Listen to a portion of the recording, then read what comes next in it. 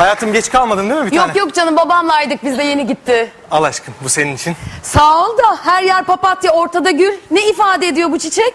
Nasıl ne ifade ediyor aşkım işte papatyalar mahsunluğu simgeliyor. Ortasında da bir tane kırmızı gül. Mahsun kırmızı gül. Mahsun kırmızı gül. Evet.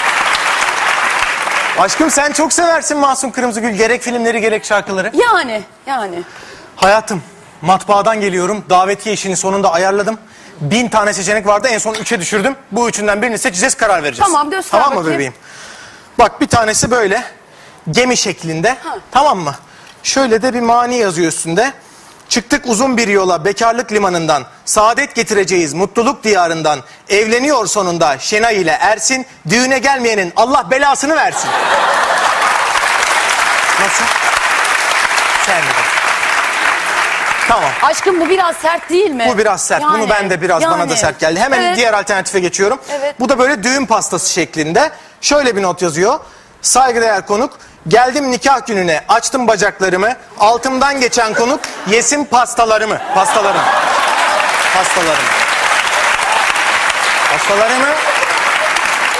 Sen ne sandın ya? Yani Pastalarımı aşkım. Sonra da hayatım yani bunlar ne sert maniler. Matbaa mı mezba mı belli değil. Yok mu böyle daha kısa vurucu bir şey sloganlı en falan? vurucu geliyor. Evet. Bu benim de favorim. Evet. Yani bundan öte köy yok. Ben sana öyle söyleyeyim. Tanga şeklinde davetiye. Tanga mı? Bu sefer notumuz kısa öyle maniyle falan uğraşmıyoruz.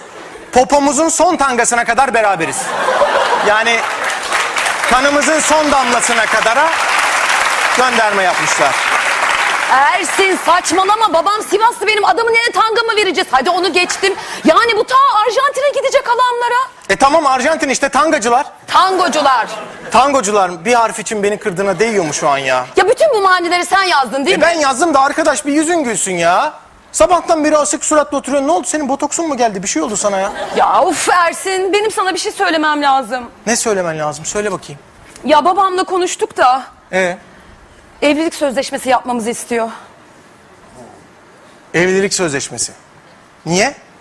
Yani sonuçta üç ay önce tanışıp hemen evlenme kararı aldık ya. E tamam işte üç aylar bitmiş artık bayram zamanı. Ne sözleşmesi ya?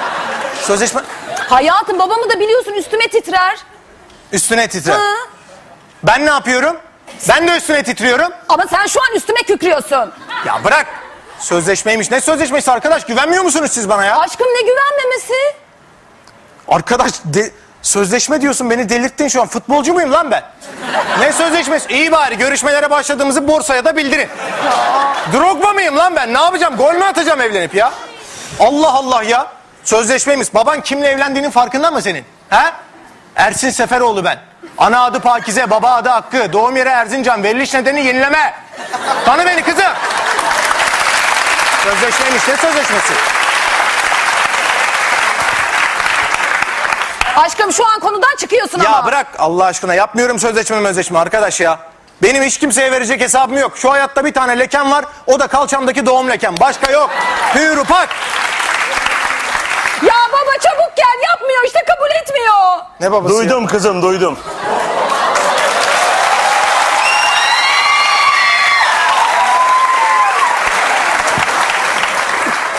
Ha zengin olunca öyle mi yürünüyor yani? Evet.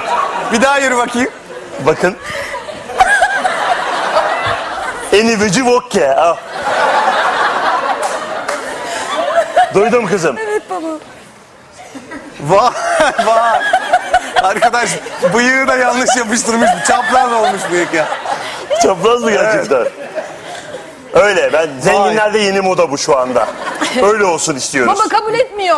Duydum ben kızım. Sayın babacığım demek bizi dinliyordunuz ha? Evet masanıza dinleme cihazı koydum bak. Oha eşek kadar da yazıyor. Eşek kadar yazdım görmedin. Bu evlilik sözleşmesi de sizin fikrinizde o zaman. Benim fikrimde delikanlı. Bak seninle açık konuşacağım. Biz çok zenginiz. 35 ceddimize yetecek paramız var. Yedi ceddi değil midir o?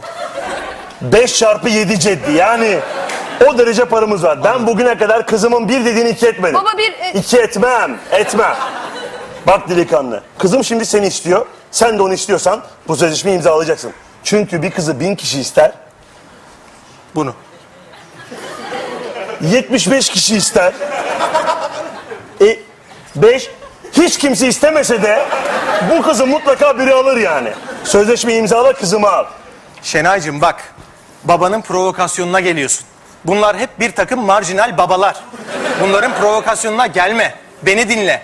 Bak diyorum alnım açık, sırtım pek, bedenim diri. Bu fırsatı değerlendir. Baba çocuk doğru söylüyor. İmzalamıyorum inanıyorum. sözleşme falan. Evet inanıyorum ben ona ya. Kızım üzülmesin diye bunları söylemeyecektim ama artık beni konuşturacaksın delikanlı. Neyi konuşacaksın ya?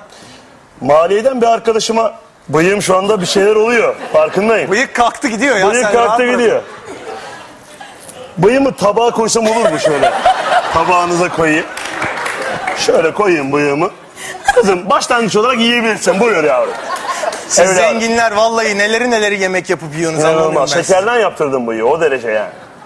Neyi araştırttın ya benle Seni ilgili? maliyeden birine sordurdum. Ee, Bayağı bir vergi borcum varmış. Ersin ne vergisi bu? Allah vergisi. Ee, şöyle. Şöyle aşkım. Şimdi benim ortağım vardı bir tane. Onun bir borcuna kefil oldum ben. Adam ödemedi. Bütün borç bana kaldı. Yani benim bu saflığım hep Allah vergisi o yüzden. Mafya ve çete oluşturmaktan sabıkan varmış. Hiç aşkım o şey babamın yorgancı dükkanı vardı biliyorsun. Haraç istemeye geldiler. Ben de mahallecek adamları topladım da gittim dövdüm bunları. Anlattım sana da hatta. Mahallede adım yorgan mafyasına çıktı. Hiç ben niye yorganımı vereyim? Ha birinin ihtiyacı olur ayrı. Ben yorgan bağışını her türlü destekliyorum. Peki ruhsatsız silah taşıyormuşsun. Yalan. Taciz yapmışsın. Dolan. Dolandırıcılık. Kuru iftira. Kapkaç. Islak iftira. O da hiç öyle bir şey yok. Ya baba yeter artık ama lütfen. Peki bunların hepsini geçtim. Ne? Kızımdan önce biriyle evli oldun. Ve evlilikten bir çocuğun oldu. Ve aynı kişiyle hala evli olmaya devam ettiğin de mi yalan?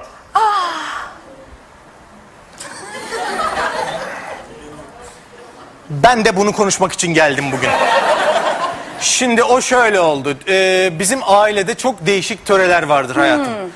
Şimdi abim yengemle evliydi. Ee, sonra abim vefat edince benim biliyorsun töre gereği yengem dayımla evlenmek zorunda kaldı. Sonra abimin ölümüne dayanamayan yengem de bir süre sonra ölünce töre gereği ben dayımla evlenmek zorunda kaldım. Bu ne biçim töre ya? Töre ya işte buna Nerenin töresi bu? Nerenin töresi bu? Bu Brooklyn civarı bir töre bu. Manhattan dolaylarında da çok sık görülen. Ya inanamıyorum sana. Yalan söylüyorsun hem de gözlerime baka baka. Nerene baka baka söyleyeyim adam donuma kadar araştırmış ya. Ya defol git buradan ya Aman defol tamam be. git. Öf. Defol buradan defol. İzinle babacığım. Tipi bir duruşa bak şunun. Al bu da benim sana ayrılırken hediyem olsun buyur. Yalnız şunu unutma kayınbaba. Tutmuyor. İyiler daima kazanır. E sen iyi biri değilsin ki. İşte onu diyorum. İyiler kazanır hep. Benim gibiler kazanamaz. Yani önerme geçti değil mi? Bu konuda hassasım ben çünkü. Defolup gider misin buradan? Tamam bir Evet yol, ya. yol parası versenize bana bir. Al canım. Al bunu gözüm görmesin. seni. Tamam bir de artı SSK yap. Köpek gibi çalışırım. lan. Lan defol git buradan. Görüşürüz canım. İnşallah ya. Kendine iyi bak. Öptüm bay bay.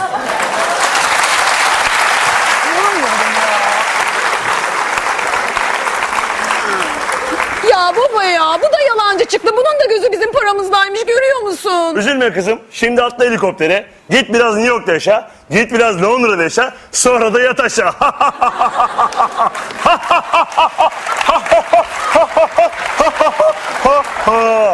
Baba bu ne kötü şaka. o kadar zenginim ki hiç komik olmak zorunda değilim. Ya of. ya üzülme kızım. Sen daha ilerine layıksın. Ama baba öyle deme ya. Bu attığım 23. nişan. Ne diyeyim kızım? 23 nişan kutlu olsun. 23 nişan kutlu.